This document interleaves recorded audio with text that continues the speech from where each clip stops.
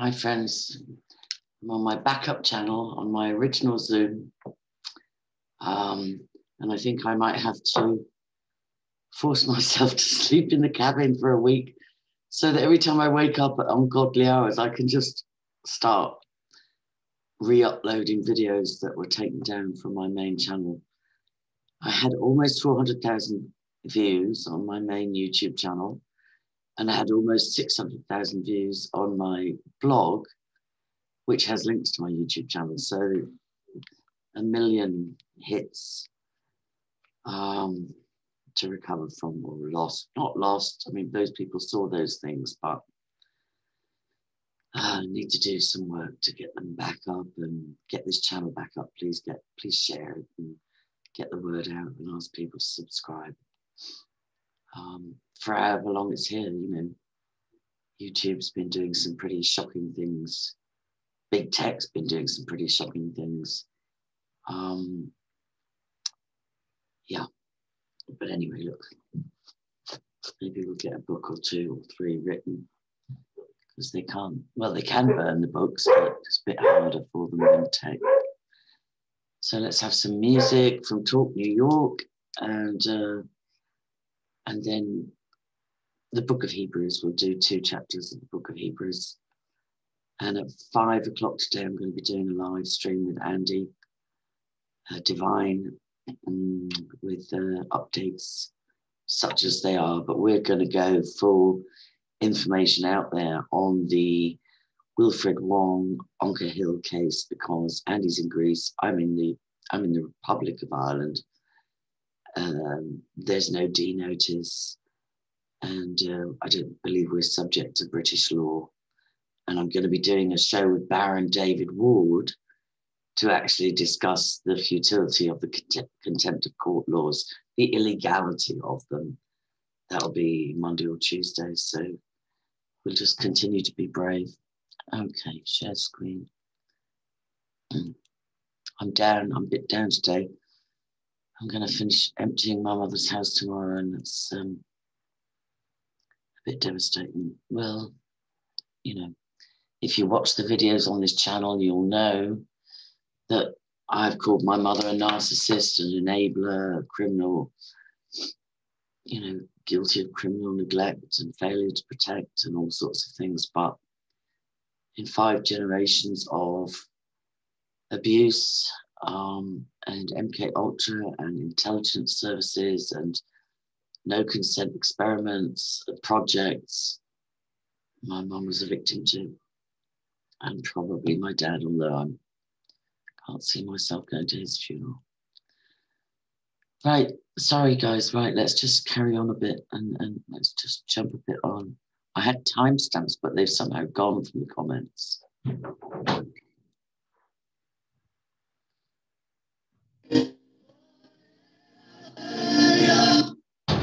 Let's jump on. Sorry. Be any like. I should have lined it up. I did line faithful, mate. I'll tell you. I did line it up, but my timestamps we're, we're, we're taking a spin. Oh, okay. They have to try to just deter us. We will not turn from our path. No, my timestamps have gone, so we'll go back to the beginning. Oh, they have this great I might pause. Opening it up I'll now. We keep, the, we keep, the, gift all the way open until like the middle week of January. Right, so. so let's have a look if I can find this. They've got this amazing dance routine. He chooses a vessel. All right, guys. I'm going to stop share and find a timestamp of something that I love. And um, know, we don't we don't pretend to be perfect. We just pretend to be authentic. So no, I can't. I can't research on pause. It won't let me minimize. So we'll just go screen share again and we'll do our best. And I will find that particular dance routine that I want to find. Unless I just could find it instantly. Let's have a look.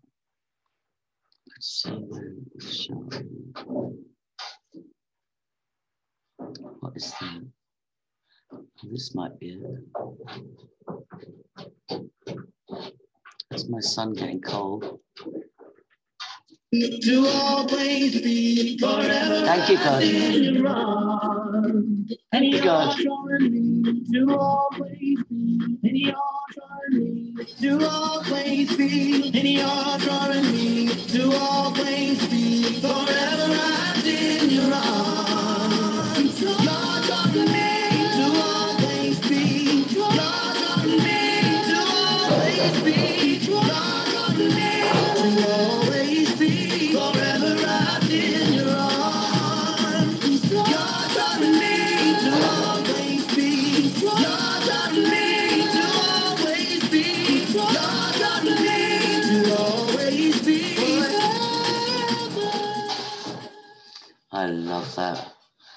I love what God just did. Did you see that? Did you see that, people? We just found the timestamp. One of the church members works at um, the American Ballet, and uh, I didn't even play the whole of that routine, but it's so, so gorgeous. Um, okay, the book of Hebrews in the message translation, chapter one, with my son getting cold for the range in the background. But we don't have Ruby, she's in the house today. All right, giving, no, going through a long line of prophets. Look, first of all, Holy Spirit, please enlighten this to me. Please encourage me. Please encourage everybody within the sound of my voice. And please, Lord, um, Father God, send your angels and just disseminate your word and your miracles and your power. Show your power to as wide an uh, audience as possible in Jesus' name. Share this in church with anybody that's not like really up with Bible study or Bible reading, or share this in prisons, you know, with people that would do better with audio than maybe can't read or write. You know, just share this anywhere that it will make a difference. Going through a long line of prophets, God has been addressing our ancestors in different ways for centuries. Recently, he spoke to us directly through his son. By his son, God created the world in the beginning, and it will all belong to the son at the end. S O N. This son perfectly mirrors God and is stamped with God's nature, as are we. He holds everything together by what he says, powerful words. The Son is higher than angels. Of course, he is. After he finished the sacrifice for sins, the Son took his honored place high in the heavens, right alongside God, far higher than any angel in rank and rule. Did God ever say to an angel, You're my son, today I celebrate you, or I'm his father, he's my son? When he presents his honored son to the world, he says, all angels must worship him. Regarding angels, he says, the messengers are winds, the servants are tongues of fire. But he says to the Son, You're God and on the throne for good. Your rule makes everything right. You love it when things are right. You hate it when things are wrong. That is why God, your God, poured fragrant oil on your head, marking you out as king, far above your dear companions. And again to the Son, you, Master, started it all, laid earth's foundations, then crafted the skies, stars in the sky. Earth and sky will wear out, but not you. They become threadbare like an old coat. You'll fold them up like a worn out cloak and lay them away on the shelf. But you will stay the same year after year. You'll never fade. You'll never wear out. Wow. See, this is something that the globalists and the Luciferians are terrified of, which is why they push sort of fake climate change and sustainability and all this stuff about, oh, the earth's going to run out, it's going to run out, because they want to, the holy grail for them is to find immortality so they never have to face judgment. And so if they think they're going to be immortal, they think also they have to keep the earth going forever. But here it says, earth and sky will wear out, but not you. They become threadbare like an old coat. It's interesting. And did God ever say to an angel, Sit alongside me here on my throne till I make your enemies a stool for your feet? Isn't it obvious that all angels are sent to help out with those lined up to receive salvation? Yeah, don't worship angels, people. I see some of this, what do they call it, Archangel Michael worship and angel cards and angel worship. No, they are created beings. Don't worship created beings, worship only God. You can ask God to dispatch ministering angels, warfare angels, guardian angels, uh, you know, legions, myriads, millions of angels, but don't worship the angels or you're missing it. That's like worshiping creation instead of the creator. Right, Hebrews chapter 2. It's crucial that we keep a firm grip on what we've heard so that we don't drift off. If the old message delivered by the angels was valid and nobody got away with anything, do you think we can risk neglecting this latest message, this magnificent salvation? First of all, it was delivered in person by the Master, then accurately passed on to us by those who heard it from him. All the while, God was validating it with gifts through the Holy Spirit, all sorts of signs and miracles as He saw fit. So, yeah, miracles, signs, and wonders is a God thing.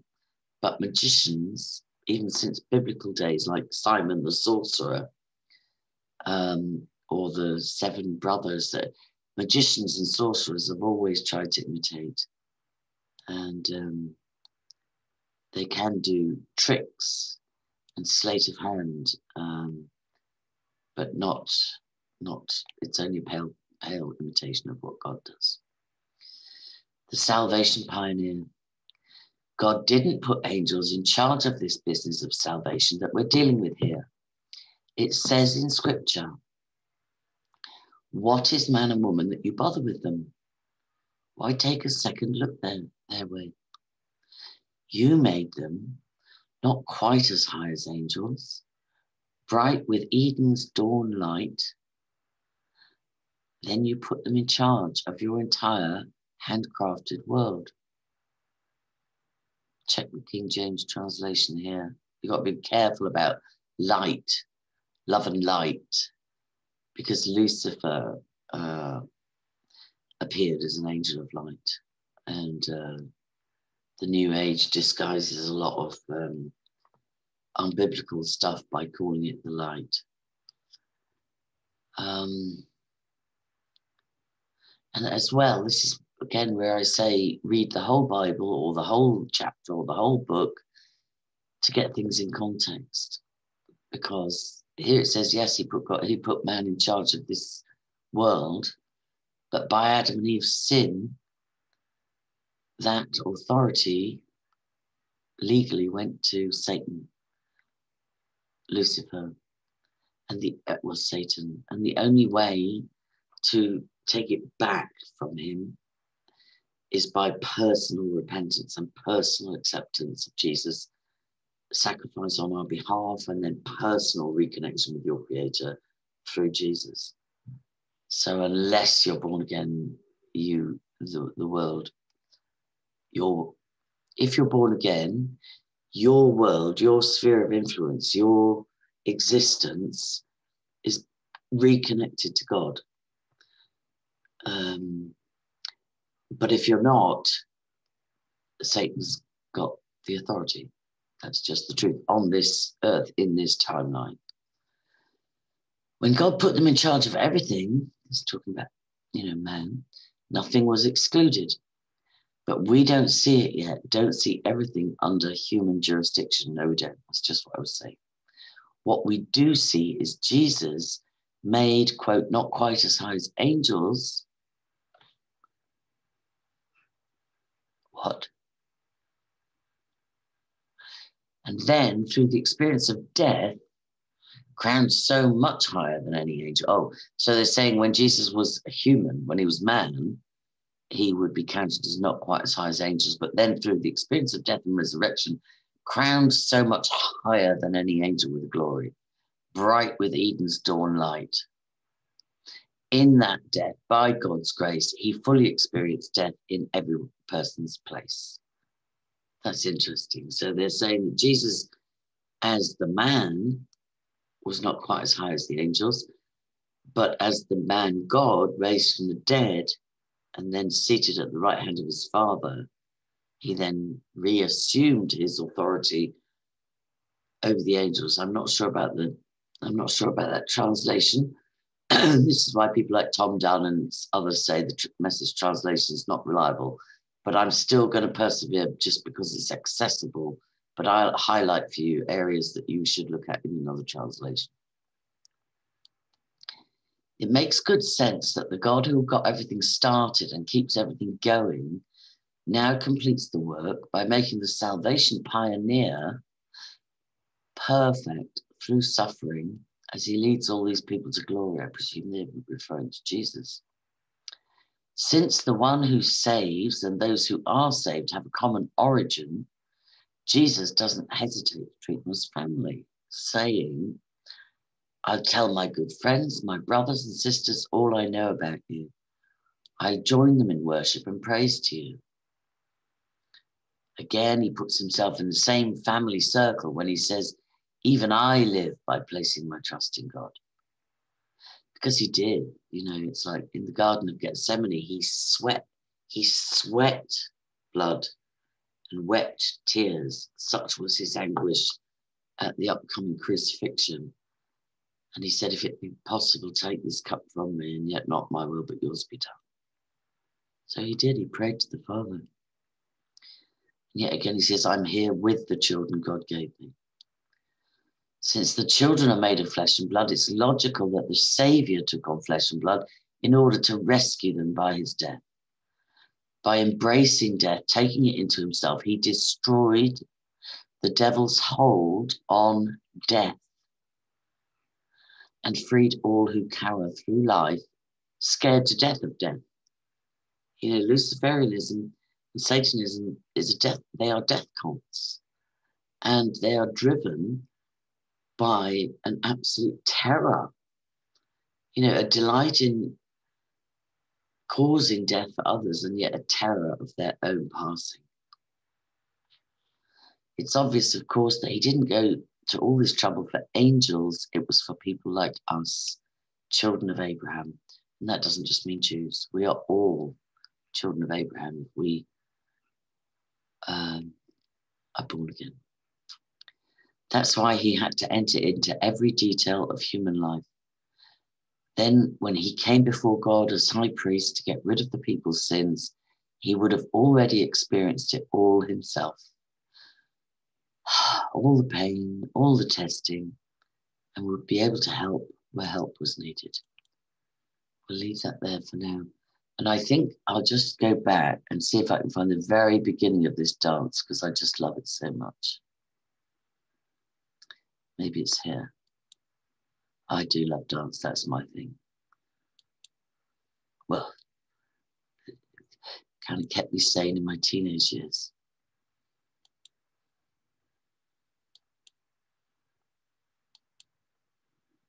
I'm getting hard to find it. Here we go. talknyc.org and play the video. Yeah. You've become so accustomed to seeing our Yeah. beautiful people and dancing with our beautiful music.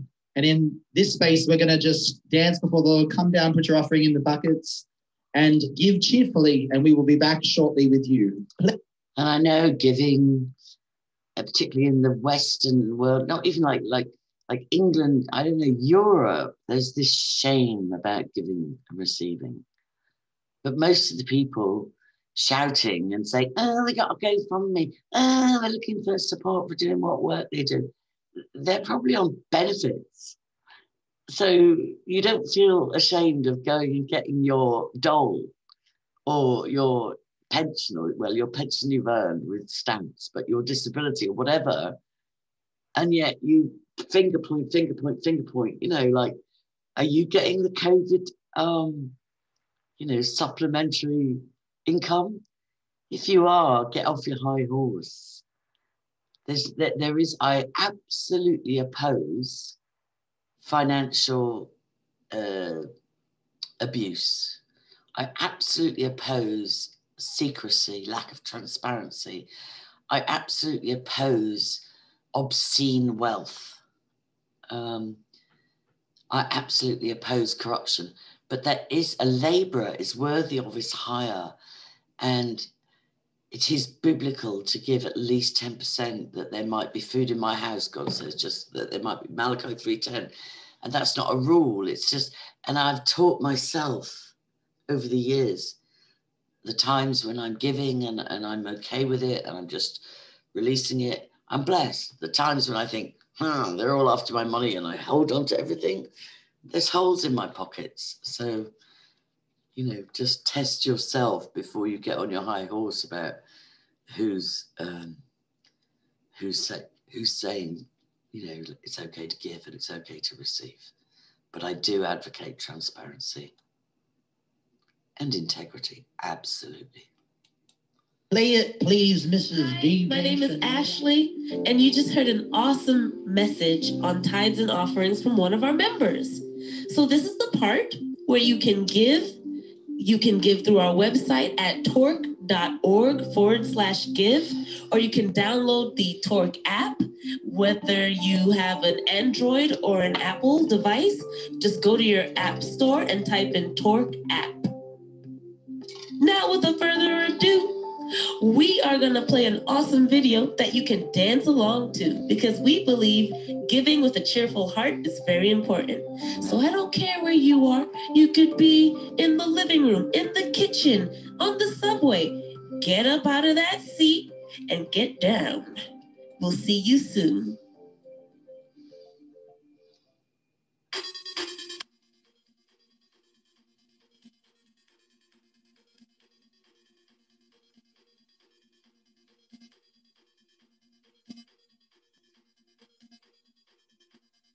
Are one, this love beyond what I could ever imagine. Taken over me, heart and soul. And in the darkest hour, your hand reached out and wrapped me in freedom. The coldest winter is no more. And you give yourself